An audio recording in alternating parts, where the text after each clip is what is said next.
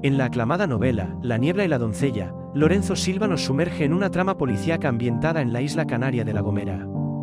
Publicada en 2002, esta obra es la tercera entrega de una serie que sigue las investigaciones del sargento Bevilacqua y su compañera, la cabo Chamorro, ambos de la Guardia Civil. La historia arranca con un misterioso asesinato que tuvo lugar dos años antes. La víctima es un joven con una vida tumultuosa, cuyo cuerpo es descubierto en un bosque, envuelto en una densa niebla.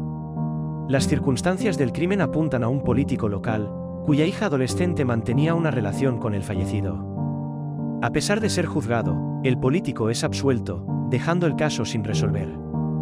Sin embargo, la persistencia de la madre del joven y su influencia llevan a reabrir la investigación. Con pocas pistas y un crimen que parece haberse desvanecido en el tiempo, Bevilacqua y Chamorro deciden trasladarse a La Gomera. En la isla, se enfrentan a la reticencia de los guardias que inicialmente investigaron el caso. A pesar de los obstáculos, ambos investigadores se sumergen en la búsqueda del verdadero asesino, navegando por un ambiente cargado de misterio y tensiones locales. La trama se desarrolla entre giros inesperados, donde las pistas parecen esfumarse como el humo en la niebla.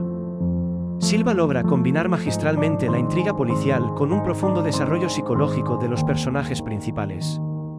Bevilacqua y Chamorro no solo buscan resolver un crimen, sino también enfrentar sus propios demonios y desafíos personales. En resumen, La niebla y la doncella es una novela que atrapa al lector desde la primera página, ofreciendo una historia trepidante y llena de misterio en el corazón de Canarias.